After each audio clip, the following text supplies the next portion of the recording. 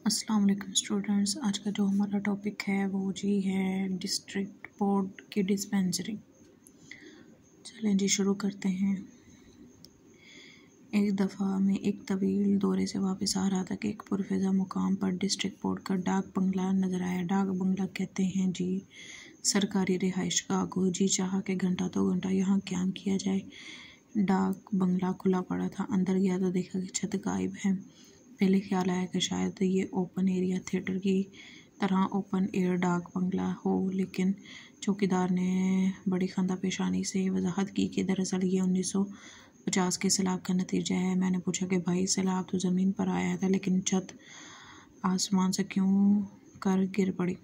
चौकीदार ने सादा लोही सादा लोही मना सादगी से जवाब दिया कि साहब इसमें भी अल्लाह की कोई हिकमत होगी। इस डाक बंगले में चीनी की चंद पिरच, प्यालियाँ और कुछ रकाबियाँ भी मौजूद थीं रकाबियाँ कहते हैं सालन डालने वाली प्लेटों को। इन सब की पुश्त पर अंग्रेज़ी में जोसन एंड जोसन, लंदन 1854 दर्ज था।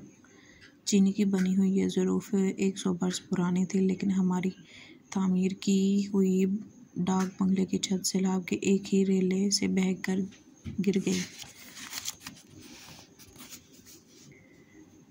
डाक बंगले की रियायत से मुझे डिस्ट्रिक्ट बोर्ड की एक डिस्पेंसरी याद आ गई, जो एक नहायत दूर अफ्तादा गाँव में वाक़ है मतलब लंबे फासले पर मौजूद। दूर अफ्तादा का मतलब है। बगैर इतला दिए दूर दराज देहात में अकेले घूमने का मुझे बेहद शौक़ है। इसी तरह एक इंसान की आँख उन नज़ारों का मुशाहिदा करती है जो डिप्टी कमिश्नर की आँख को नसीब नहीं होता है। इन दो आँखों में बड़ा अजीब व गरीब फ़र्क है।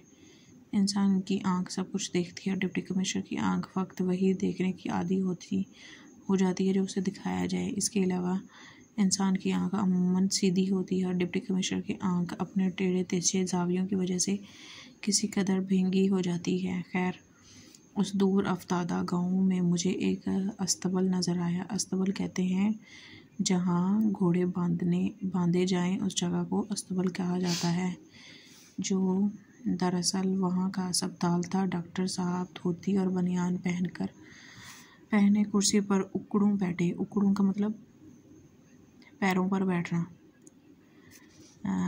और अपने घुटनों पर पर्चियाँ रखे, नुस्खे लिख लिख कर मरीज़ों को दे रहे थे, जिन्होंने कुर्सी के चारों तरफ़ घेरा डाला हुआ है। क्या मर... क्या मर्ज़ है? डॉक्टर साहब हर मरीज़ से सवाल करते थे। मरीज़ अपने बिसात के मुताबिक अपनी मर्ज़ की खुद तशखीस करता। बिसात मतलब हैसियत औकात के मुताबिक। और डॉक्टर साहब बड़ी सूरत सूरत कहते हैं, जी, तेज़ी और फुर्ती से नुस्खा लिख कर उसके हवाले कर देते गालबन ये नुस्खा तवीज़ के तौर पर इस्तेमाल होता क्योंकि मरीज़ नुस्खा लेकर बगैर कोई दवा मांगे वहाँ से चला जाता था। मेरी खाकी पतलून और सफ़ेद बुल शर्ट के लिहाज से डॉक्टर साहब ने मुझे अपने सामने एक बेंच पर बिठा लिया जिस पर उनका हुक्का और पानदान पड़ा था। उन्होंने कई बार मुझे दूसरे मरीज़ों पर तरजीह देने की कोशिश की, लेकिन मैंने जवाब दिया कि मेरी तकलीफ़ ज़रा पेचीदा किस्म की है, इसलिए मैं सबसे आखिर में अपना हाल बयान करूँगा।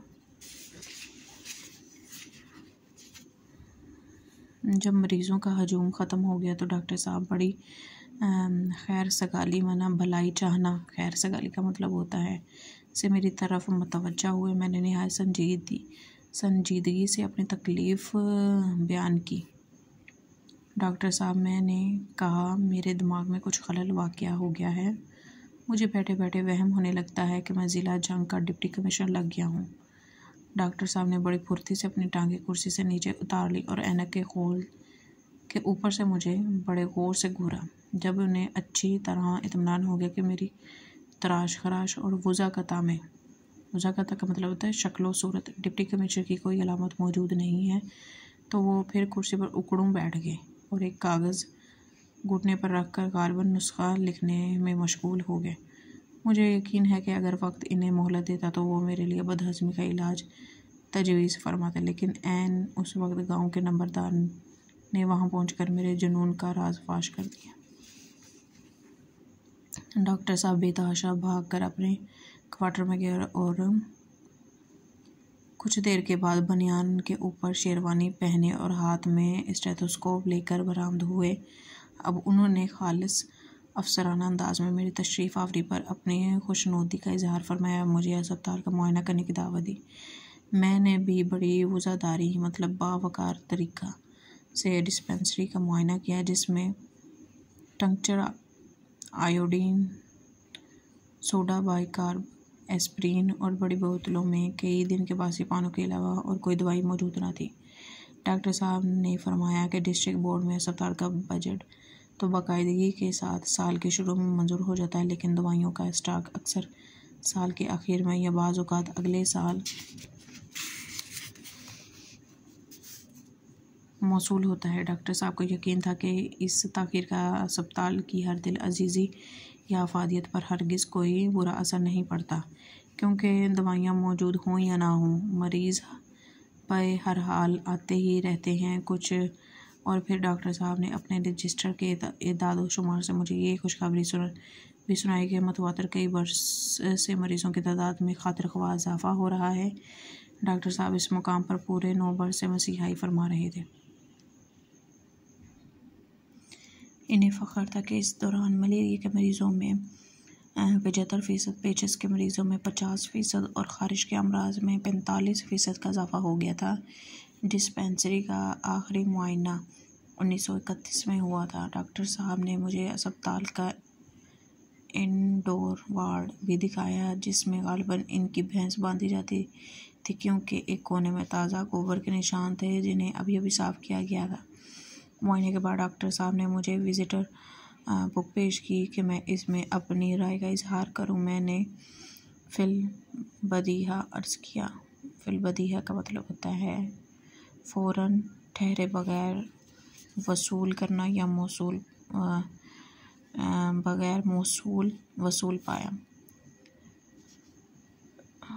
दुनिया तिब में यह अस्पताल संग मील की हैसियत रखता है यहाँ पर दवाइयों की वजह नुस्खों से इलाज किया जाता है मरीज़ों की तादाद रोज़ अफजों तरक्की पर है। अस्पताल में दाखिल होने वाले मरीज़ों के लिए भैंस पे खालिश दूध का खातिर खवा इंतज़ाम है। क्योंकि वार्डों में भैंस बांधने का भी अच्छा बंदोबस्त है।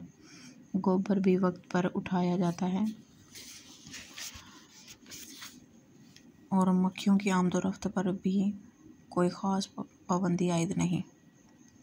चंद माह बाद मैं जब मैं दोबारा इसी डिस्पेंसरी को देखने गया तो वार्ड रूम में साहब, डॉक्टर साहब की भैंस तो बदस्तूर बंधी हुई थी, लेकिन विज़िटर बुक के जिस वर्ग पर मेरे पहले मुआयने की राय दर्ज थी वो गायब था। माखूज अज शहाब नामा। अच्छा जी, जो आज का हमारा टॉपिक है, वो अख्ताम को पहुँचता है। आप मेरे चैनल को ज़्यादा से ज़्यादा लाइक करें शेयर करें सब्सक्राइब करें। मिलते हैं अगले लेक्चर में। अल्लाह हाफिज़।